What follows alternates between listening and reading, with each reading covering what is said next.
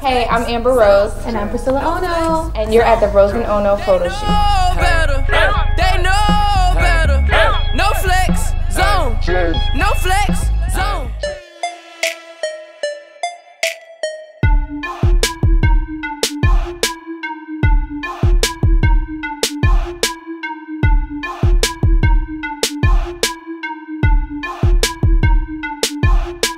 Well, I've known Hoza for a very long time, and I've been a big fan of his work for Hologram City. Um, my fiance is obsessed with his line, so I knew that when I wanted to do my line for Rose and Ono, I had to have Hoza collaborate with me and had to have his fashion input on the line.